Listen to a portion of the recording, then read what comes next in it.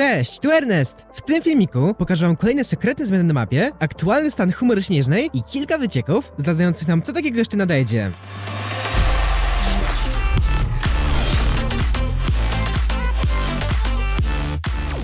Sezon siódmy już wkrótce. I tak jak kometa na niebie wprowadziła sezon czwarty, tak chmura śnieżna z południa wprowadzi siódmy sezon. Po ostatniej aktualizacji nie zaszło zbyt wielu ciekawych zmian na mapie, ale poruszony został temat chmury śnieżnej nie tylko w grze, ale także w plikach gry. Zaczynając od tego, co możemy zobaczyć, to chmura śnieżna coraz bardziej się powiększa, jednak po wczorajszej aktualizacji i co ciekawe tylko na wyspie startowej, stało się bardzo chłodno i gracze wydychają teraz chłodny, niebieski oddech.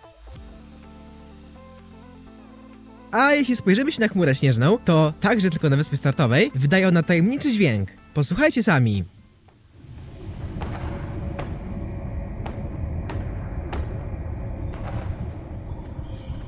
Trix na swoim Twitterze zdradził nam, że te dźwięki mają w plikach gry przydomek hamburger i są zlokalizowane w folderze Hamburger Event, czyli wydarzenie hamburgerowe. Jest to prawdopodobnie tylko i wyłącznie taka nazwa, która nie ma nic wspólnego z tym, co odpowiada, czyli raczej żaden burger się nie wyłoni. Ale do tematu burgerka jeszcze przejdziemy. A kontynuując o chmurze, to dźwięk, który teraz słyszymy po spojrzeniu na nią, po polsku nazywałby się hamburger, pętla 01. Do tego w tym samym folderze znajdują się dźwięki z taką samą nazwą, ale ponumerowane kolejno 2 i 3, co oznacza, że tym bliżej będzie chmura, tym głośniejszy i agresywniejszy dźwięk będzie wydawała. Posłuchajcie sami.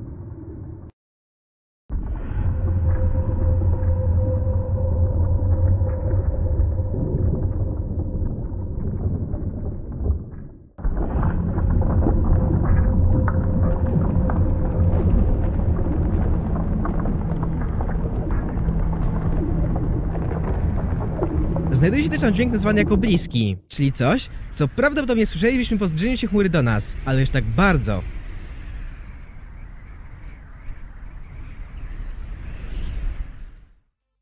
Fortnite Battle Royale za to wziął jeden z tych dźwięków pod spektogram i graficzne przedstawienie tego dźwięku ujawni nam taki oto znak. Jest to samo logo, które widnieje na postaci cel i jego spadochronie, co oznacza, że ta postać ma coś wspólnego z tą śnieżycą, ale tego domyśliliśmy się już kilka dni temu. To nie wszystko. Użytkownikowi Twittera Jason Breen udało się zbugować system powtórek i podlecieć tuż nad tajemniczą chmurę i zobaczył tam coś takiego. Jeśli się przyjrzycie, to widać, że w chmurze jest ukryty potężny lodowiec z fragmentem zamku na górze. Sam lodowiec w plikach gry nazwany jest oddalonym kamieniem, a ta mała wieżyczka to fort. Z czasem ta góra z wieżyczką na szczycie powinna coraz bardziej się ujawniać. To nadal nie wszystko, bo jeśli w grze teraz się przyjrzycie, to tuż pod chmurą możecie dostrzec tafle lodu idące wraz z chmurą. Czyli zaczyna się dziać to, czego się spodziewaliśmy. W plikach gry pojawiła się też garść nowych zmianek o śniegu, ale to, że taki śnieg nadejdzie, to już wiemy. I moim zdaniem, już możemy żegnać spawalnie spłuczek, bo wygląda na to, że właśnie na to miejsce wybiera się potężna góra lodowa. I to w sumie tyle na ten moment, ile musicie wiedzieć o zimowym klimacie Fortnite. Przechodząc do walki restauracyjnej, to burgerek i pomidorek walczy teraz o klientów w karkołomnym kinie. Ich ostatnim stopem, moim zdaniem, powinien być pomidorowy przybytek.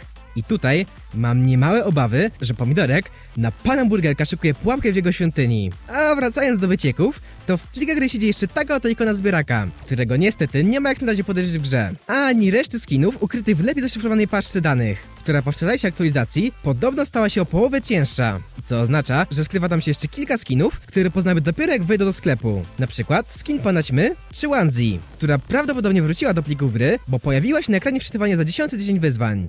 I to tyle. Dziękuję za oglądanie i do zobaczenia w busie bojowym.